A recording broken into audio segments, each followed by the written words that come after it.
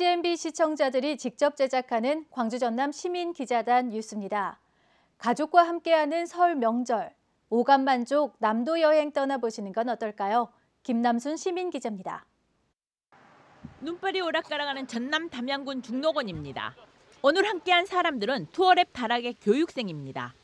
관광 인력 사업 프로그램인 투어랩 다락은 직접 경험하고 느끼며 모두가 만족하는 즐거운 남도의 맛과 멋을 발굴하는 프로그램입니다. 남도 맛 기행을 어, 표본으로 해서 어, 관광 사회적 기업을 양성하는 과정인데요. 그 맛, 맛이라고 하면은 그 먹는 맛뿐만이 아니라 이 담양만의 색깔 그런 맛들을 익히고 그런 것들을 접목해서 우리가 사회적 기업을 만들어가는 어, 일들을 준비하고 있습니다. 아, 느껴가고 있는 중이고 예, 여기서 다양한 사람 만나서 같은 고- 공통 분모를 많이 만날 수 있을 것 같아서 그런 사람들하고 교류하는 게 좋고 좋은 것 같아요. 울창한 대나무 숲으로 주로 왕대가 많이 자라고 있는 중농월에서 상큼한 댄내음을 맡으며 여행을 즐깁니다. 이곳에서 자라는 나무는 왕대로 참대 또는 진죽이라고 부르기도 합니다. 대나무길 사이사이로 불어오는 대바람 소리는 도심에 사는 사람들에게 청량기와 같은 소리로 다가옵니다.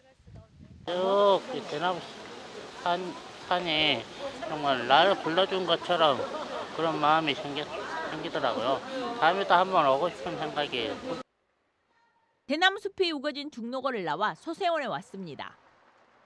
소세원은 조선시대 양산보가 만든 곳으로 민간 정원의 운영을 그대로 간직한 국가사적 304호로 지정된 곳입니다. 여행객들은 조선시대 선비들의 만남의 교류장이었던 이곳을 둘러보며 여행을 즐깁니다. 이 남도의 모습은 눈송이처럼 되게 푸근해요. 대나무 숲을 이렇게 걸으면서 어, 예전에 늘 왔었던 그 편안함을 느끼게 하거든요. 제가 여기 처음 왔는데 어떻게 그런 편안함을 느낄 수 있을까요?